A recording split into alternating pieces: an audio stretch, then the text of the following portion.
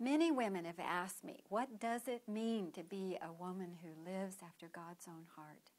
Well, here's how I define that phrase. Just imagine living life in a way that people think of you long after you're gone. For instance, thousands of years after his death, we still think of King David. He was the faithful shepherd boy who slew the giant Goliath, the author of so many Psalms, the chosen king, and the one God says was a man after his own heart.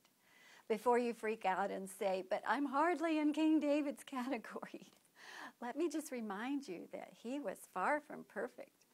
For instance, does the name Bathsheba ring a bell? But despite his tendency to forget to consult God, and despite his arrangements to murder Uriah so he could marry Bathsheba, and despite his less than solid parenting, David was still given that title, a man after God's own heart.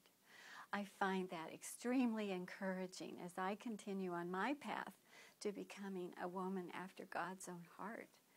Our transformation into a woman after God's own heart is indeed God's work.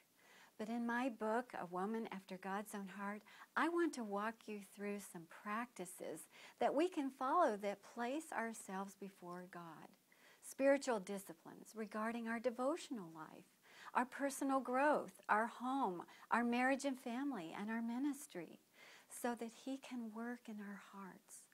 As we journey through the book together, I'll help you respond to circumstances with God's confidence to simplify your life by focusing on His priorities.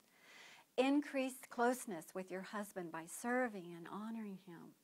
Build stronger friendships as you learn how to become an encourager and make wise choices and teach your children to do the same. Let God fulfill His greatest desire for you.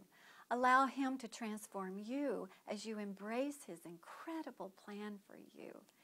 You will find lasting joy and peace as you pray and live out His priorities in a life as a woman after God's own heart.